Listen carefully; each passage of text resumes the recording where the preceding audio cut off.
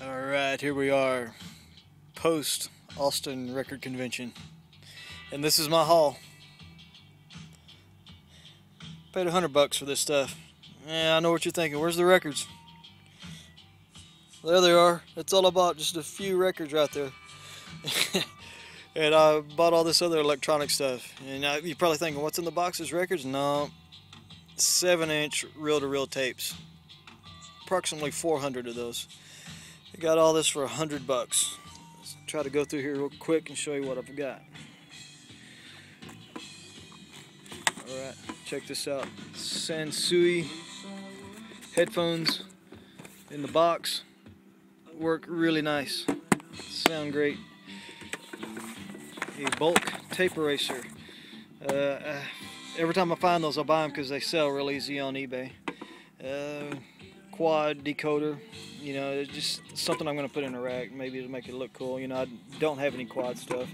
There's a Proline frequency energizer. It's just a EQ type of thing, I guess. I haven't tried either one of those out. And here's a little audio pulse time delay thing. Another thing that just looks cool. You know, I'll just added it into uh, some kind of vintage uh, display. Another piece of gear. This is Pioneer uh, cassette changer. You put six cassettes in there, line them all up that way. It'll play one after another. You can record after one after another. And it also has a single deck over here. The thing works, so try that out. Works great. Uh, got a lot of cassettes, metal tapes, you know. A lot of these are still sealed. Sealed metal tapes. Good deal here. I mean, uh, again, I started kind of collecting cassettes too out of frustration of not being able to find records when I go garage selling or estate selling. And I try not to go buy too much of my stuff at record stores. I do buy stuff there. Uh, throw them a bone. I mean, they're nice people and everything, but it's a little bit more fun for me to try to find records at a garage sale or an estate sale or something like that. And uh, but uh, since I can't find the records, I started picking up different sealed cassette tapes. Just trying to start a big collection of those. And uh, got all these cassettes still sealed. They were all part of the hundred dollar deal. Bunch of those. I bought a few uh, eight tracks because I have a couple of eight track changers now. A five eight track changer over there, and a three eight track changer over there. I never saw one of those back in the day. I don't remember seeing those. So uh, I just need some eight tracks now. Got a tape selector monitor. Got that one, another new one in the box clear telephone. I don't even have a hard line anymore. I had had one for years, but I'll use that for decoration. I've got a couple of uh, tape head cleaning kits, brand new, hadn't been opened. Record, metal record rack holder. I've got some beta tapes here. They're from NFL Films. Pretty cool. I mean, there's three different teams, like the best of the year. NFL Films. Kind of interesting. Uh, Gone with the Wind box set beta. You know, now I need a beta player. Don't have one of those. Speaker selector, I'll use that outside in my backyard and my shop back there to kind of zone some of my speakers. It'll probably won't be good for the amp, but uh, I use kind of a cheap system out there anyway. We've got a couple of underdash 8-track tape players. You know, uh,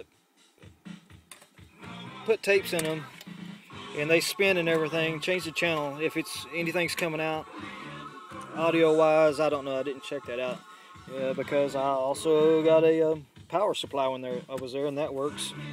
And there's another 8 track player maybe somebody will need these you know I, I kind of felt like I rescued those maybe somebody will need those uh, there's just a vintage Vac-O-Rec I remember the, the, seeing the commercials of these back in the day. You put a record in there and it spins and it vacuums the record. I put a record in there, try that out. It works. I've got a uh, couple of battery chargers here.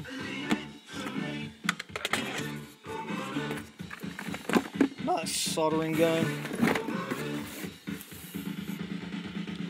Pioneer take up reel to reel.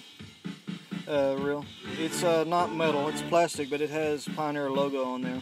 I've bought metal ones in the past from estate sales, and uh, man, they sell quick and uh, for a lot of money too. So if you ever see metal take-up reels, I'd buy those. Uh, a few RCA cables. Uh, what I miss here? Oh, and this thing right here. Bought this on a separate deal. I paid $25 for this DCC digital compact cassette player. Uh, 25 bucks. The bad thing is, the lady I bought it from said it quit working about a month ago. I haven't plugged it in yet. Don't know what's wrong with it. Uh, but it came with 30 something DCC tapes and 11 of which are still sealed. And uh, it came with this box too, you know, it's pretty cool western looking thing, you know, it's probably something that'd go for a lot of money at an uh, antique store. But uh, it looks pretty cool. So hopefully I at least can break even or not make a little bit of money selling those, but I want to keep it if it works. I'd like to have a different uh, form of media. And uh, I want to say something about that little portable Crosley record player I bought. I put this guitar strap on it, you know, and I carried it around with me at the uh, record convention. Man, this thing was so cool. It was easy to carry. It worked like a charm. Uh, got a lot of attention from everybody. I mean, this is probably the next big craze for um, uh, crate diggers instead of carrying around the Numark thing that's like four times as big and weighs four times as much. But, uh, you know, about the records. I got about $40 worth of records that I traded 15 reel-to-reels for. So, uh, so my $100 haul here was really about like a $60 haul because I got $40 worth of records for 15 reel-to-reel tapes. Uh, here was three Betamax movies, still sealed, that I picked up too. And this video transfer thing, it's still new in there. It's still um, all in the packaging, all the parts and everything are there. I have some old family 8mm movies I need to try to transfer really good. And hopefully that'll help. But uh, that is the uh, weird haul I made from the record convention. Very few records. Kind of wacky. But uh, that's it. That's what I got. Very few records from the record convention.